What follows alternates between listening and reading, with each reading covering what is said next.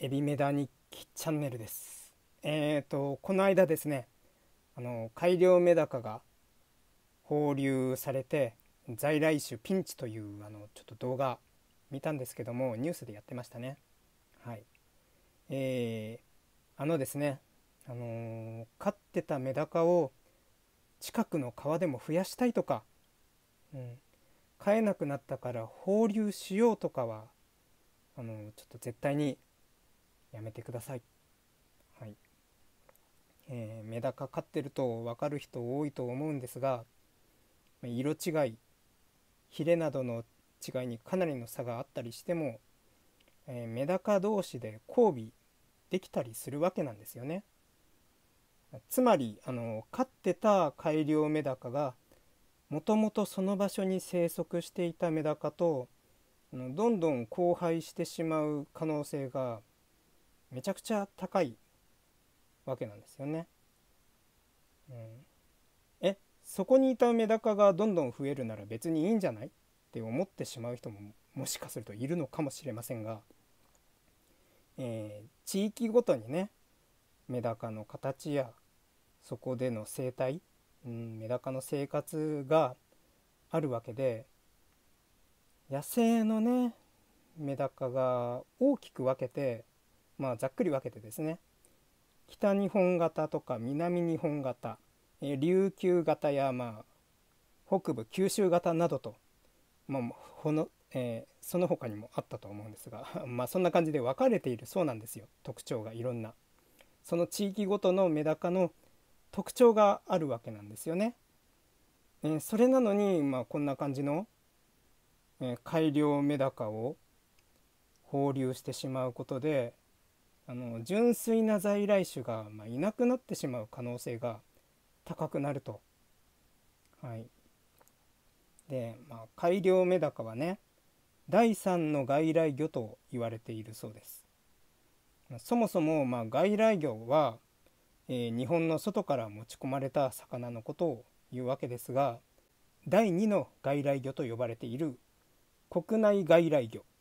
はいえー、国内の自然に生息していた地域から、まあ、別の地域に移される。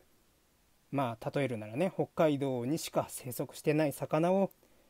九州に、あのー、持ってきて放してしまうとかですね。そういうのを第2の外来魚と呼んでいるそうなんですがまあ改良メダカはね人の手で品種改良された改良メダカのような魚が、まあ、自然にあの生息してしまったものを第三の外来魚と呼ばれているみたいです。うんまあ、そんな改良メダカがねいろんな地域で増えてしまうと日本の川の日本メダカの世界がぐっちゃぐちゃになってしまうわけなんですよね。はい、もともと在来種のメダカは2007年に、えー、絶滅危惧種と選定されていたものらしいので、まあ、さらに悪い状況になり得るわけですよね。はい、なのであの本当に飼うことができなくなってしまったメダカはあの放流しないようによろしくお願いいたします。うんね、自分が飼っていたメダカなので飼えなくなったけどなんとか生きてほしいっていうね気持ちもわかるのですが飼えないなら他で飼ってくれる人を見つけるとかですね、えー、まあジモティーとかインスタグラムとかツイッターなどでねつぶやいてもらっても、うん、飼ってくれる人見つけられるんじゃないかなと思うんですよね。いろんな手段あると思うんです今今の時代は。はいまあ、それでもあの飼ってくれる人がいなかったらあの本当に最終手段ですが、え、責任を持って処分するとかですね、まあ、あとはもう本当にあの人間の責任としてっていう感じですけどメダカをあの佃煮にしたウルメの田舎になんていうね料理もあるようなので最後に「ありがとう」と言ってあのいただくというような形とかも取ってもらうとかあると思うんですよね。はいまあ、そういうふうなね覚悟を持ちつつですねあのメダカを飼育していってもらえたらと思います。うん、あのあとですね水槽の水替えなどの時にも卵が流れていってしまわないかなども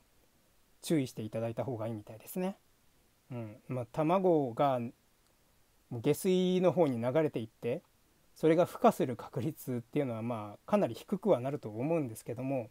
可能性は全然あると思うので本当あの水槽の水を捨てる時とかですね、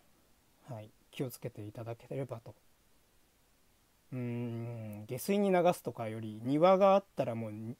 ねこう草木にあげる水みたいな風にしてもらった方がいいと思いますね。うん。まあ、そんな感じでまあメダカの自然の生態を守りつつ、えー、メダカの方を飼育楽しんでいってもらいたいなっていうふうに思います。じゃないとねアメリカザリガニやミドリガメみたいなことになりかねないですからね。はい、ちょっとそうすると大変なことになってくると思うのでメダカ飼っちゃいけないみたいなねある意味流れにもなりかねないので、はい、よろしくお願いいたします。えー、それではここまでご視聴いただきありがとうございました。